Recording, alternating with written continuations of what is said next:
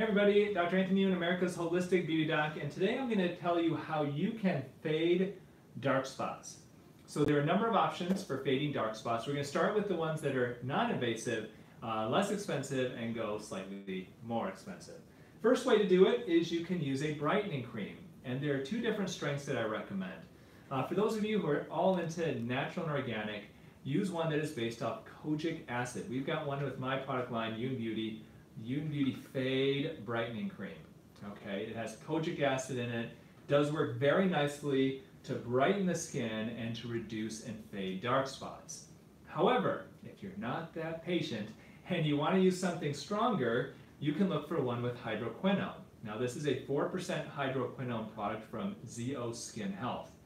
Hydroquinone is the most powerful ingredient for skin brightening. Nothing is as powerful as hydroquinone. But the problem with hydroquinone is it has some issues, and that's why I think it's super important for you to know about it. Uh, in laboratory rats, it has been known in high doses to potentially create cancer. That's pretty scary. Um, also, there is a, a, phenomenon called ochronosis, where people have dark skin. If they use hydroquinone for long periods of time, it can cause their skin to look darker. Kind of strange. Also, if you, if you use hydroquinone for long periods of time, it can also induce a weird hyperpigmentation when you go off of it. It's kind of called rebound hyperpigmentation. So all of that points to why would you use this then? You know, you've got ochronosis, you've got the risk of um, hyperpigmentation afterwards. The reason is, is that it really does work, but you want to use it for up to six months at a time. Okay, so if you've got really severe spots, age spots that have been treated, you're, let's say in your 50s, 60s, 70s, and they're just really bad, then I would go with a hydroquinone cream for up to six months to help reduce those spots aggressively. Once you have those spots in a good place, then I would switch you over to something with more natural and organic ingredients like my Youn Beauty Brightening Cream. And there are other ones out there that contain kojic acid and niacinamide um, if you want to get something at your local drugstore or your local department store. So look for kojic acid, niacinamide. Those are ones that you can use long term.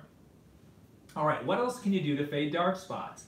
Well, the other thing that you can do to fade dark, dark spots is IPL, intense pulse light, otherwise known as a photofacial.